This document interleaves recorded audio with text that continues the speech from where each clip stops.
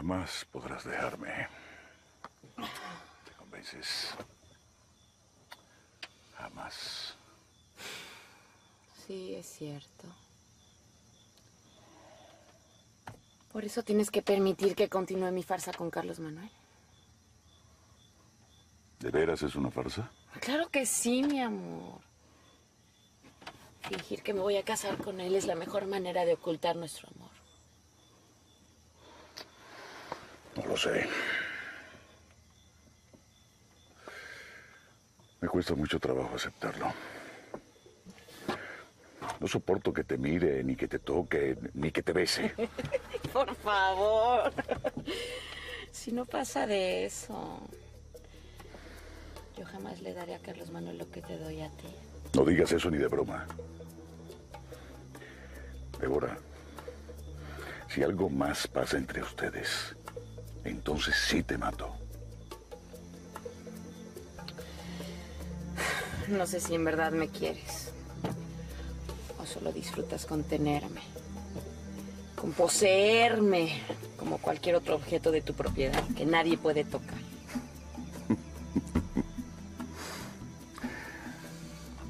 ¿Cuál sería la diferencia?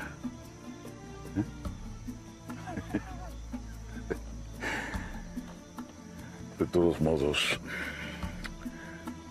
no vas a ser de nadie más. Federico, si de veras me quieres como dices, deja a Cristina. Deja todo. Deja todo y vámonos juntos en este momento, en este mismo momento.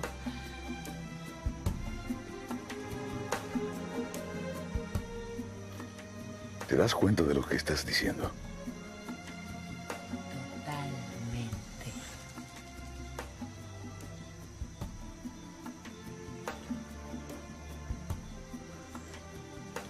Está bien. Vamos.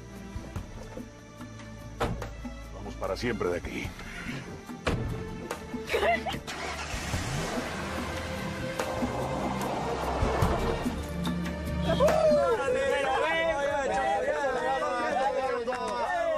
Tabasco, que Tabasco Tabasco. Ven, ven, ven. Vamos a Tabasco, que Tabasco es un Debes creerme. No se debe entregar el corazón sin estar completamente seguro. Porque se sufre mucho, Carlos Manuel, mucho. Yo siempre pensé que había sido feliz con mi padre. Bueno, no, no estamos hablando de mí, sino de ti. Entonces no te preocupes. Yo sé lo que hago, mamá. Quiero a Débora y, y ella me corresponde. ¿Estás seguro? María del Carmen dice que Débora no te quiere, que solo juega contigo. María del Carmen, te lo acabo de decir, mamá. Es solo una niña. Una niña muy fantasiosa. Puede ser. Pero antes que nada, la sentí sincera. Y me dio miedo por ti, hijo. No quiero que sufras por amor. Entonces no te mortifiques, mamá.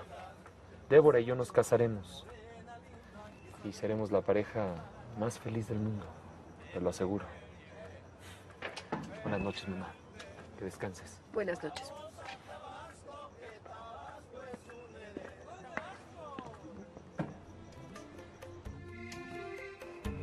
¿Dónde? ¿Dónde habrá escondido el dinero que mi mamá le dio a María del Carmen? Lo tengo que encontrar antes de que esa mocosa se lo vaya a gastar.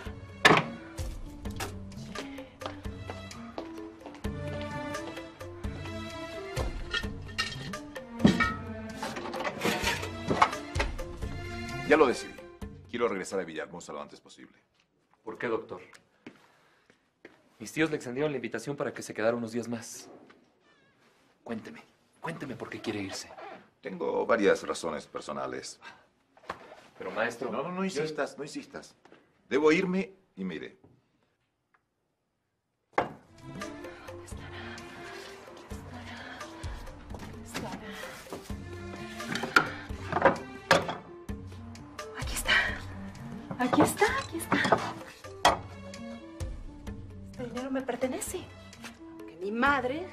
Lo haya dado a María del Carmen.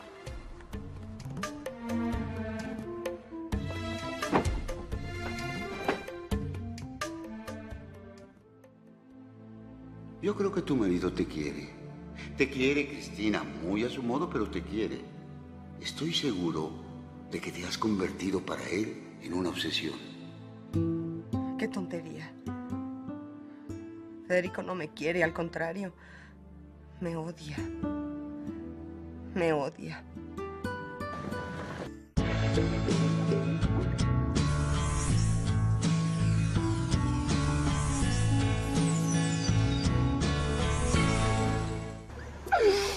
No puedo creer lo que estamos haciendo. Es como un sueño. Un maravilloso sueño del cual nunca despertaremos. No. No que. No puedo hacerlo.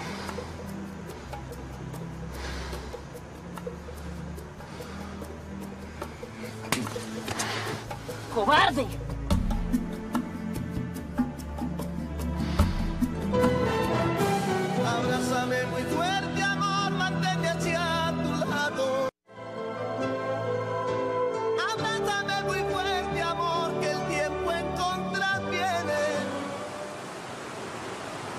Contenta, Cristina?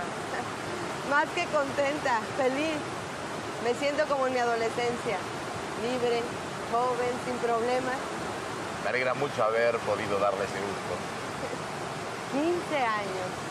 Hace 15 años yo era la mujer más feliz del mundo. Nada me hacía falta, o al menos eso era lo que yo creía. Pero a la vuelta de 15 años, la vida me cambió totalmente.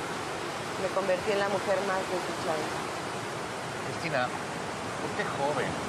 Podría rehacer su vida si quisiera. Encontrar de nuevo el verdadero amor. No, doctor. Ya es tarde para mí. Ya no estoy para vivir de sueños ni de ilusiones. Yo debo conformarme con la tragedia de mi vida. Cristina, Anoche, anoche estuve platicando con el padre Ignacio. Me estuvo dando consejos. Seguramente con la esperanza de que, de que yo salve mi matrimonio. ¿cree usted que eso sea posible? Por supuesto que no. Mi vida es un fracaso y no puedo cambiarlo. Tendré que estar unida a Federico hasta que la muerte nos separe.